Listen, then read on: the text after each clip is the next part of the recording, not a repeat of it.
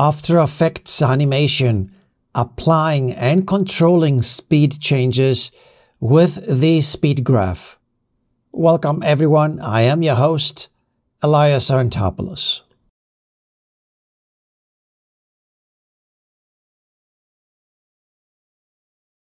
Alright, so inside Adobe After Effects with a blank composition named Motion Path, I'll go ahead and set this up by creating two shapes, a rectangle shape and a circle to be animated. So up in the toolbar, I'll click and hold to get to the rectangle tool. And inside my composition window, I'm just going to click and drag. And as I am, I'm also going to press the shift key to constrain the proportions and create a square shape and release that. I grab the selection tool and then inside the layer here, the shape layer one, I'll press enter return on the keyboard and give it a name of rectangle. Now, one thing that I notice is the anchor point is not centered in relation to the rectangle. So to fix that, up on the toolbar right here, this is the tool we're going to be using, the pan behind anchor point tool. I'll click once to grab it and then press and hold the control key or the command key and then double click on it. And here it is. The anchor point has been centered in relation to the rectangle shape. I grab the selection tool and I'm also going to align this horizontally and vertically into the composition window. And what else can we do inside the layer here? I'm also going to change the fill color of my choice. So I got some libraries here. So I grab the eyedropper tool, sample this color. I'm also going to have a bit of a stroke. So I'm going to up mine to 15 pixels and rotate this to 45 degrees and perhaps I can up the size to 600 like so. Again, I'll make sure that this is centered to the composition and I'll go ahead and lock this since I'm not going to be animating this. We will be animating a circle. So talking about a circle here, let's go ahead and grab the ellipse tool and then click and drag. And as I am, I'm going to press again the shift key to create a perfect circle. I'll release that. Inside the shape layer one, I'll press enter return to rename this to circle. And looking at this again, here we go, we have to center the anchor point in relation to the circle since we will be animating the circle from that. Once again, I grab the pan behind tool and double click by holding the control key or the command key to center the anchor point in relation to the shape. I'll grab the selection tool and position this, let's see around here. I'm also going to remove the stroke width. Let's go ahead and zoom in a bit. And just place this around there, I suppose. And now we are ready to animate the circle along a path and control the rate of speed.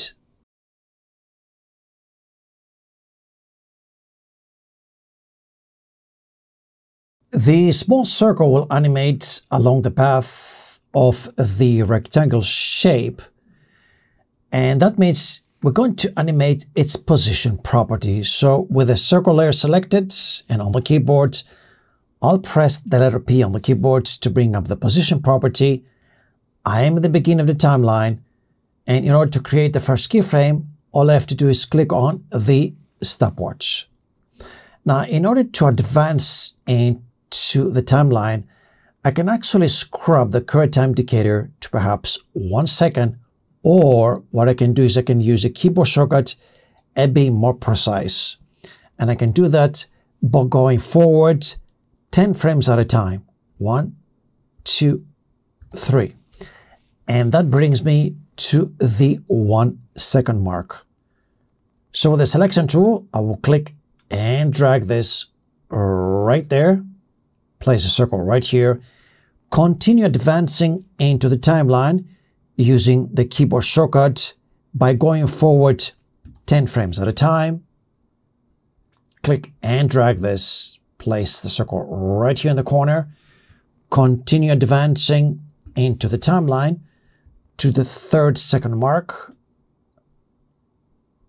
I'll place a circle right here and then one more to go and then click and drag this and place it right there. So when I move the playhead at the beginning and press a spacebar on the keyboard for the RAM preview, as you can see, we have a very boring animation. And that's because that's a linear animation. Okay, so what can we do to spice things up? So what I'll go ahead is marquee select these two keyframes to select them and then bring up the graph editor. So as you can see, these are the two selected keyframes. So now I need to change the interpolation from linear to easy ease. And there are several ways you can do that.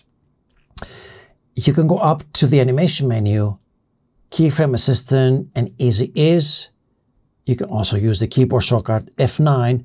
But since we are inside the graph editor, all I have to do is just go ahead and click on this button, which is the easy ease and here is the change of graph. Now, let's not forget, I'm using the speed graph from here. All right, that's very helpful here.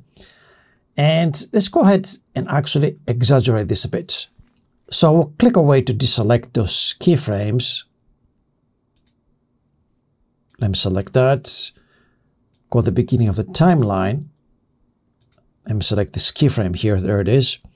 So I'm going to actually drag the influence handle that is coming out from this keyframe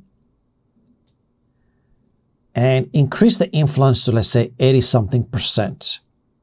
I'll do the same for the incoming velocity and change that to 80 something percent. And looking at this motion path, there is less space between frames in the beginning and end of the animation and more spacing in between. Uh, that means the animation here is going to start slow, is going to accelerate and peak right here, and then it's going to decelerate. So let's press a spacebar on the keyboard for the RAM preview. There we go. All right, so it goes slow, accelerates, and then decelerates.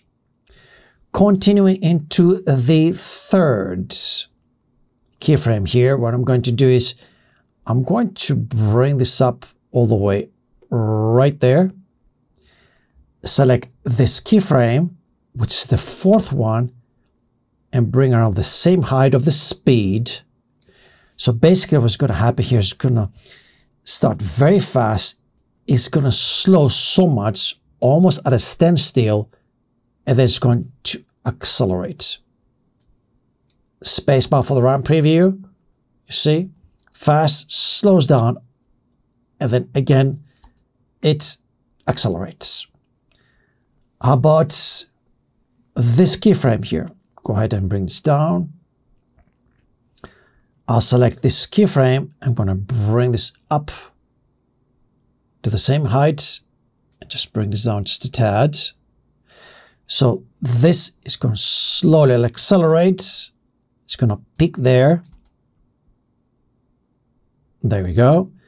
And for the last one, I'll select this keyframe. I'm going to bring this up and increase the speed quite a bit. So slowly, then it's going to go way fast.